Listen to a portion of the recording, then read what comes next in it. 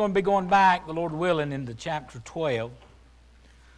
But I wanted to step into chapter 13 for just a moment this morning. Again, let me say quickly thank you to everyone who has all the different works that you do.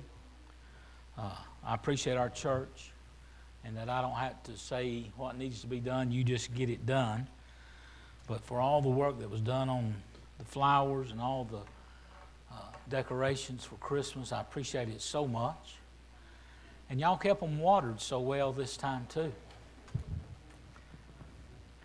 That's an inside joke, ain't it? No problem this time, was it? Hebrews chapter 13. I want to preach for just a moment, speak for just a moment, or talk for just a moment, whatever the Lord leads this morning, on content in Jesus. Content in Jesus. And you'll be seeing what I'm speaking about here in just a moment. Hebrews 13, verse 5. Let your conversation be without covetousness. Boy, we see that in this day and time, don't we? That's what every TV commercial's about. That's why you parents have got so many things stowed over in the corner because, you know, every kid had that toy and your kid had to have it. They played with the box more than they did the toy. Let your conversation be without covetousness and be content. What's a word we don't hear much, ain't it? And be content with such things as ye have. For he has said, I will never leave thee nor forsake thee. What a promise. There's so many sermons in these verses this morning. So that you may boldly say, The Lord is my helper. I will not fear what man shall do unto me. Flip over to verse 8. Jesus Christ. That's what it's all about. The same yesterday and today and forever. 2 Timothy chapter 6 and verse 6. One verse of Scripture. But godliness with contentment is great gain. Father, I thank you for your love. I thank you for your goodness. I thank you for the touch of your Spirit that we feel in this house this morning. Help me to speak forth just the words that are needed, nothing more and nothing less. Let your word go forth, let it accomplish what it's meant to be for those that are here, those who listen by the different means and the different ministries of the church later. Let this word speak to their heart. In Christ's name we pray. Amen. I know I say a lot about God being good to us, but let me tell you, He has truly been so good to me. January 1 of 2020, we will have been pastoring here 35 years and starting on 36. And God has been so good to me. I hear people, and I tell you this, I see on Facebook and I hear people talking out, and it just really gets my dandruff up when they talk about Alleghany and Sparta. I live in Wilts. About all being in a small town. They don't know how blessed they are to have a community where there is love and care and concern one for another. And Alleghany County has been so good to me and my wife. You have just blessed us so abundantly. We, we are just so thankful for what God's done. And I've seen His hand in so, so many ways. I've learned a lot of lessons. A lot of them I learned the hard way. You know, those hard lessons you learn uh, sometimes sink in better, don't they? And I've learned a lot of lessons the hard way. But this one thing I have learned is that contentment is a great gain. I look around me today and I see a lot of the problems and the situations and the troubles in the world.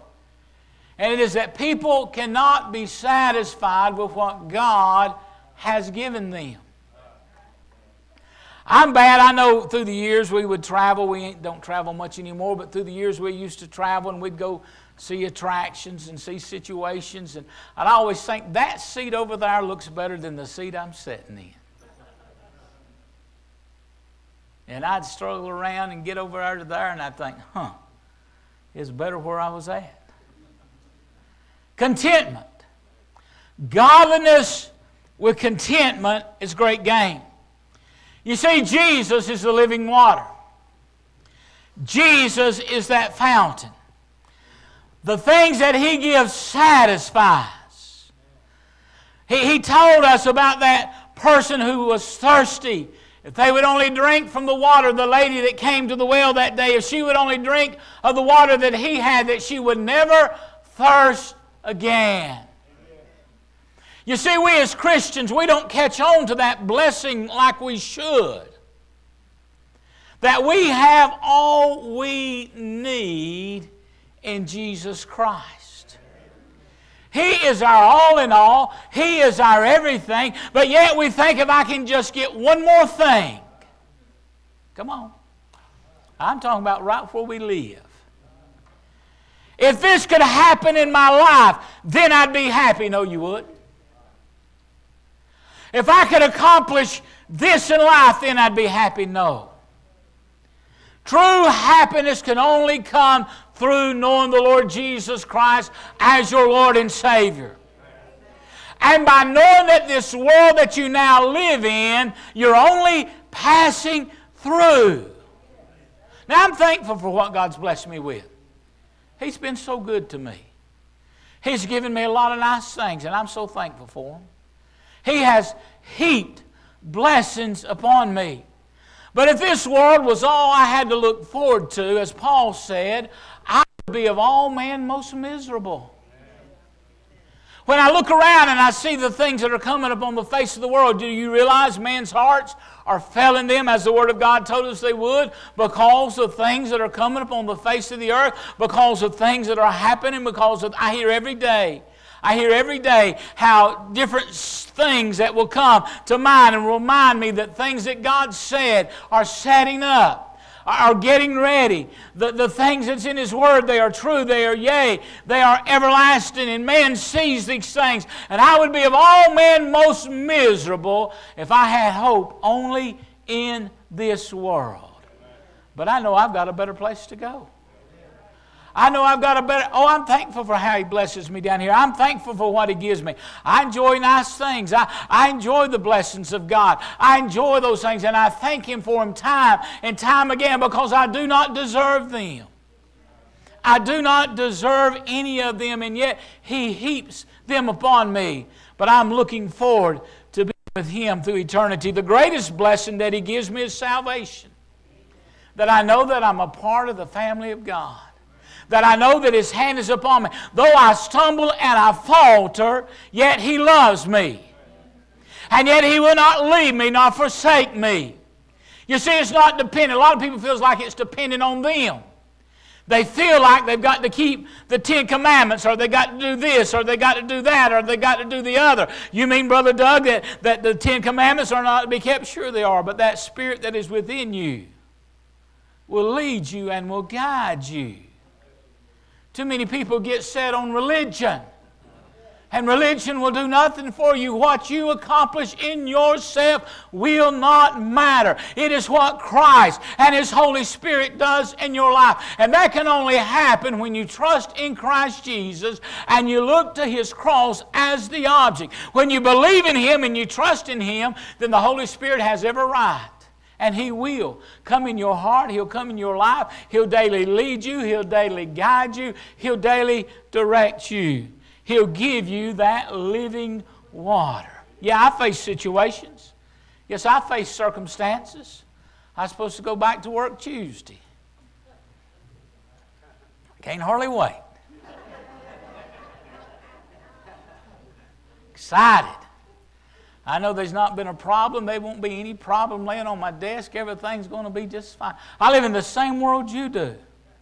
I know what these things are all about, but yet I know one who will take me, who will never leave me, who will never forsake me, that is making ways to where there seem to be no ways, and this world is not my home.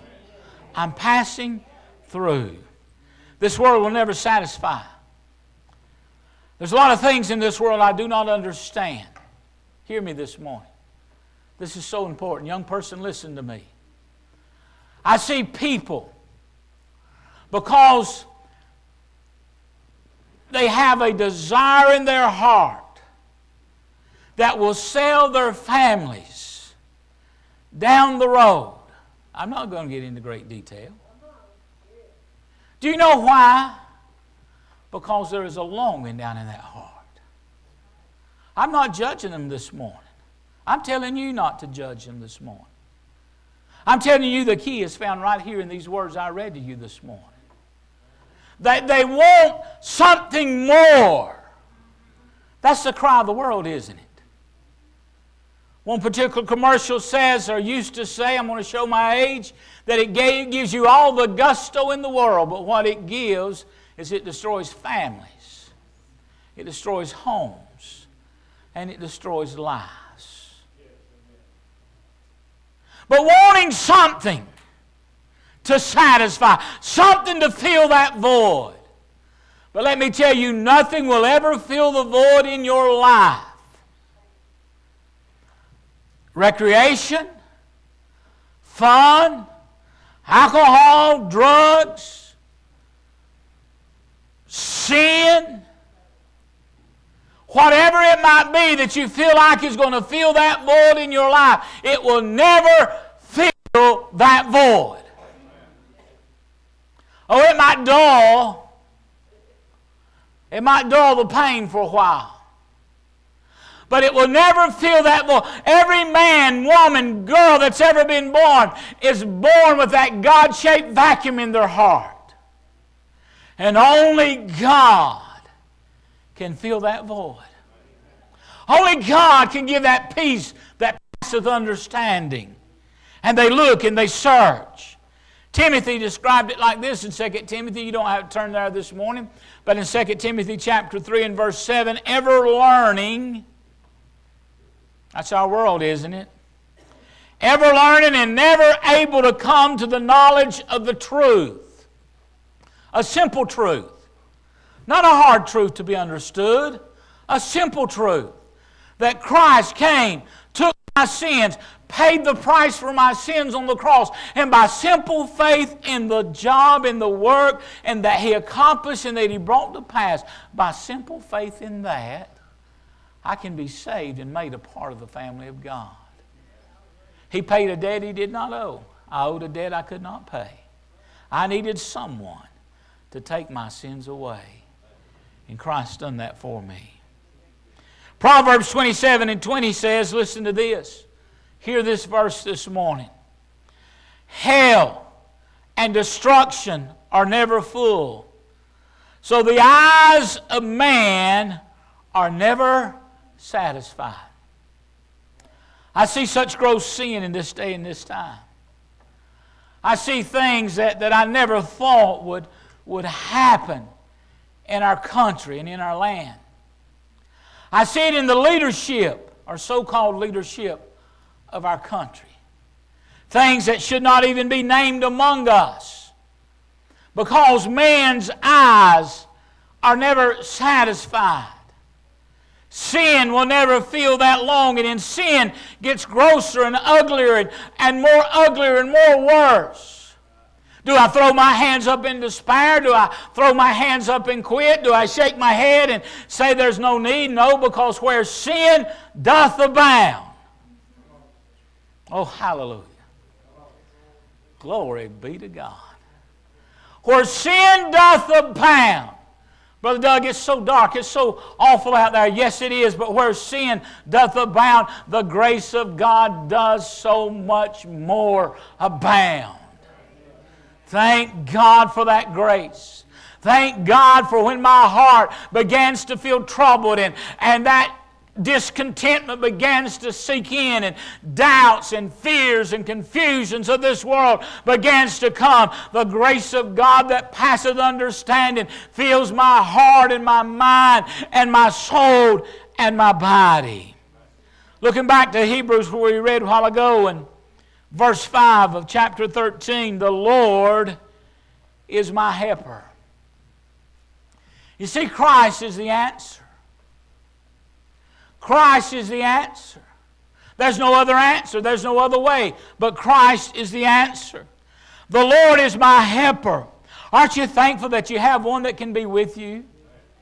How does people make it in this world? How do they live? How do they face another day not knowing that they can call upon God? And we wonder why a lot of the things are going on in the world. We wonder why suicides are and why families are abandoned and there's troubles and situations because people do not have God to call upon and to trust in and to believe in and know that He will be their helper and He will be with them. He said here in these verses of Scripture to you, and I want you to hear this.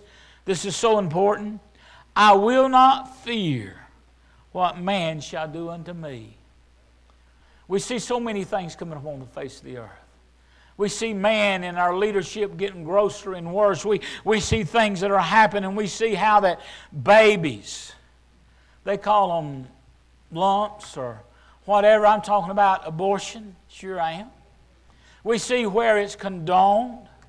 We see where actual murder is condoned and that it's all right. It's called choice. That sounds so much better. No, it's not. It's murder.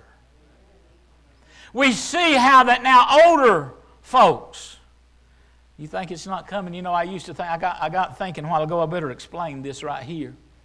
I don't know how it happened. I didn't get mad and hit a wall. Used to, but don't anymore. But as you get older, I used to hear the older folks talk about their skin just tiring and whatever. I was out working yesterday. I don't know, I just looked down and there it was, tore. Don't know what happened.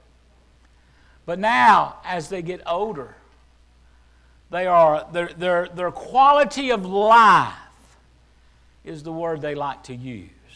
They like to make it sound good, don't they? Their quality of life is not good enough.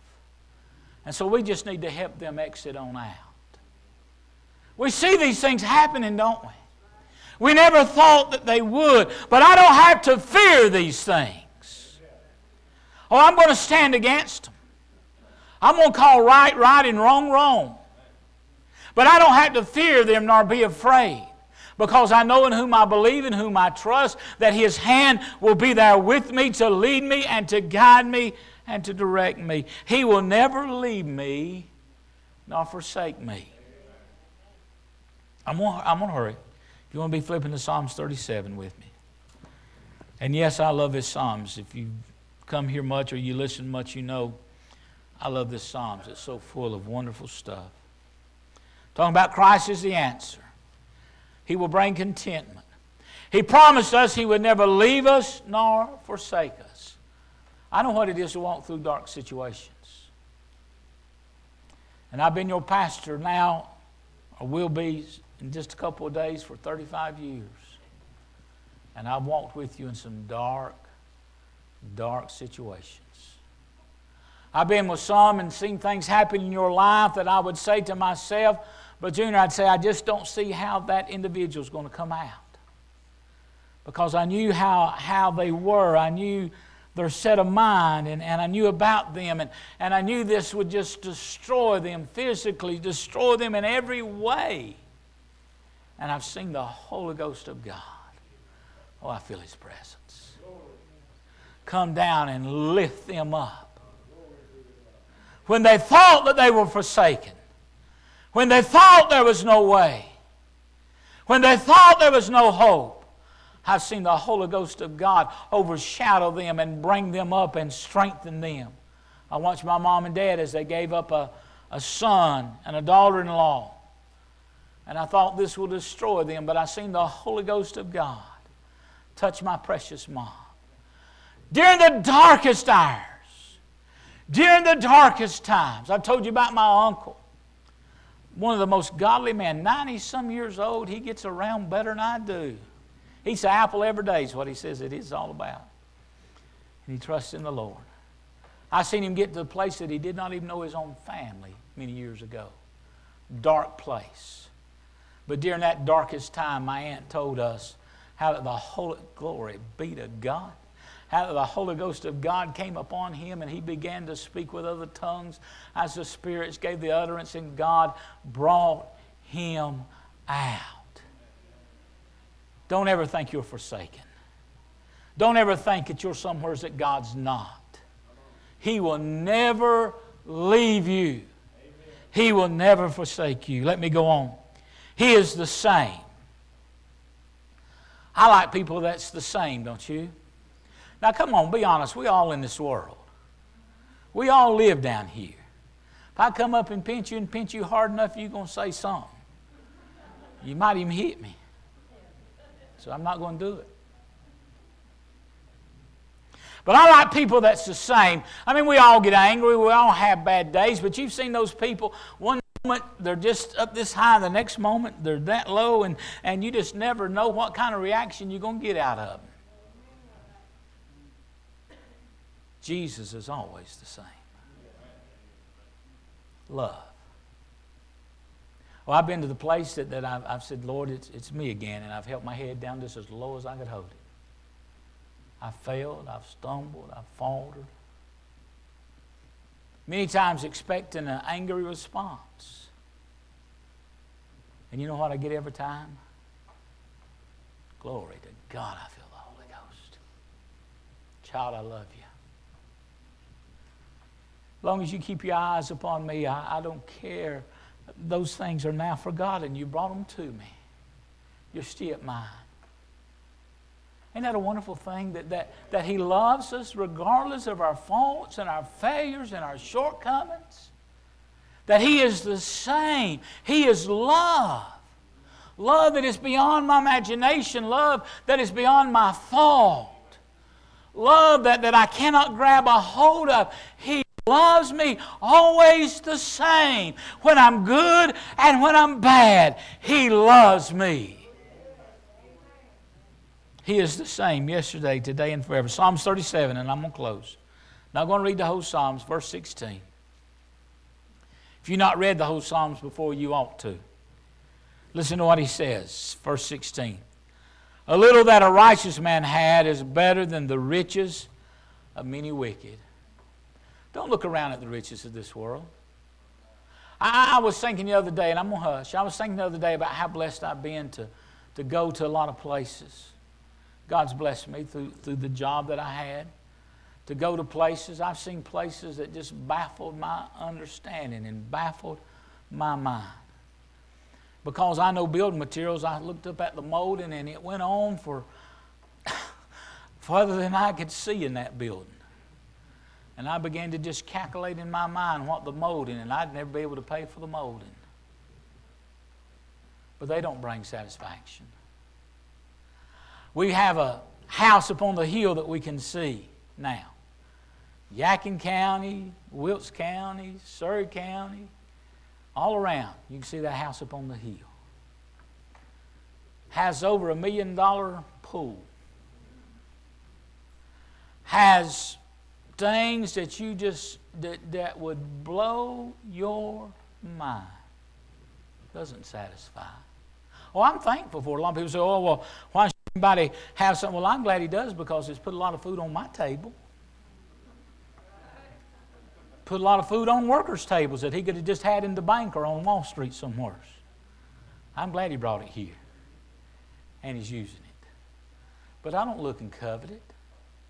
I don't look and envy it. Because I have something that is beyond imagination.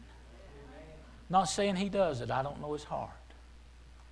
I have something that I cannot explain that, that brings a peace, Brother Bobby, that, that when I'm facing whatever is right there in front of me, I know He is with me. And He will never leave me nor forsake me. Psalms 37, verse 16, I just read to you. A little that a righteous man had is better than the riches of many wicked. For the arms of the wicked shall be broken, but the Lord upholdeth the righteous. The Lord knoweth the days of the upright. Listen, and their inheritance shall be forever. Do you realize you have an inheritance? An eternal inheritance that will not pass away. The Lord knoweth the days of the upright, and their inheritance shall be forever. Verse 19 They shall not be ashamed in the evil time, and in the days of famine they shall be satisfied. Why should I worry?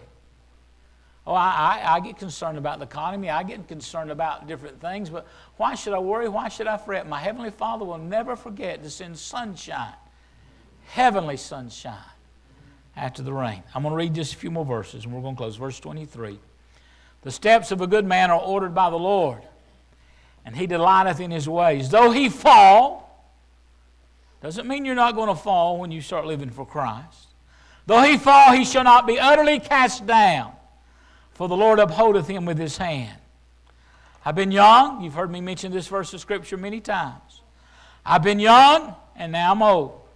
Yet have I not seen the righteous forsaken, nor his seed begging bread. He is ever merciful, and he lendeth, and his seed is blessed. Then skip down to verse 37. All these other verses are good, but I'm talking about the righteous individual right now, the one who trusts in God and depends upon him. Not righteous in himself, but righteous in Christ Jesus. Verse 37. Mark the perfect man and uphold the upright, for the end of that man is peace. Do you realize peace is worth more than anything this world has? There is people that would give every riches that they have if they could just have the peace of God in their heart. But the transgressors shall be destroyed together. At the end of the wicked shall be cut off. But the salvation, listen, the salvation of the righteous is of the Lord. He is their strength in the time of trouble. And the Lord shall help them. Not might help them, not possibly can help them, but the Lord shall help them and deliver them. Might not be the way that I think, might not be the way I want, but He will deliver and bring out. He shall deliver them from the wicked and save them. Why? Because they trust in Him. There's an old hymnal, oh hymn. And the hymnal, and I meant to have it done, looked up, and ready. Thanks, Sister Betty. It's all I need. Jesus Christ is made to me. All I need, all I need. I'll tell you where it's at here in a minute. 183. Thanks, just Hope.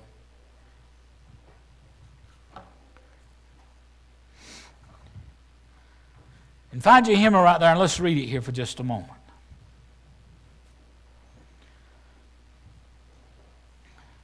Songwriter wrote this in 1906. I believe inspired by the Holy Ghost of God. Jesus Christ is made to me all I need, all I need. He alone is all my plea. He is all I need. There's no other plea. There's no other plea but Christ. When we come to Him, He is our plea. Listen, verse 2. Jesus is my all and glory be to God. I feel the Holy Ghost in this house. Mm, I feel the preacher coming around now. Jesus is my all and all. While He keeps, I cannot fall.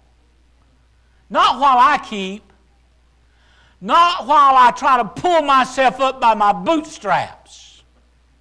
Come on. Not when I try to do better or I try to do this or I, but when He keeps. When I place my total faith and trust in Christ and His cross, then He will keep. Verse 3 He redeemed me when He died. I with him was crucified. To my Savior will I cleave. He will not his servant leave. Never leave us, never forsake us. Listen to verse 5. And here is the problem with the church in this day we have not made him the treasure. We've got our eyes on so many other things. I said, I'm including us all on so many other things we have our eyes on. But listen, He's the treasure of my soul. He have cleansed and made me whole. Glory. Verse 6 Glory, glory to the Lamb. By His Spirit sealed I am. He is all I need wisdom, righteousness, and power, holiness forevermore. my redemption full and sure. He is all I need. Father, glory be to God. Thank you for the touch of your Spirit right now. Thank you, Lord, for the touch that we have felt all the way through this morning. Glory to God. Lord, I thank you for the work that I've seen you already do upon hearts and upon lives here this morning, upon me. Lord, that I get our my focus off of me and I get my focus off of the world. And I place my focus upon Jesus Christ, looking unto Jesus, the author and the finisher. The one who started me on this race is the one who will finish and will accomplish it and will bring it to pass. I thank you for that grace that we walk in, that we stand in. Help us, Lord, not to thirst for the things of this world. They'll pass away. But Lord, help us to thirst after and hunger after righteousness. And when we do, you will fill your people to the full. Lord, you know every heart here this morning. Lord, you know every life here this morning. Lord, I pray if there's one here that has not came and drunk of this water of life freely, help them to see it's the only thing, God, the only thing that will ever satisfy and bring true peace and joy in their lives. Lord, I thank you for our young people. They're, they're so precious to us, God. I thank you for bringing them to us. Lord, you know their families. Lord, you, you know, God, the things they face. You know, Lord, the things that they go through in school. And I pray, God, that your hand be upon them. I pray, God, that you touch their families. Let them take the good word of God to their families and show that there is hope, that there is peace, that there is joy in Christ Jesus. Let them know, Lord, that you love them with an everlasting love and you know right where they're at. Help them, God, to look to you and trust in you. And Lord, let them know that this church loves them and that we care for them. Lord, touch us this morning as adults. You know what we face in this world. Lord, when we leave this house today, you know, God, what faces us. You, you know what faces us tomorrow and, and through the rest of this week, Lord. You, you know the situations and the circumstances that will come our way. But Lord, I know you already have it all under control. Remind us of that fact this morning. Remind us this morning how blessed we are. Help us, God, to realize that godliness with contentment is the greatest gain that anybody could ever have. In Jesus'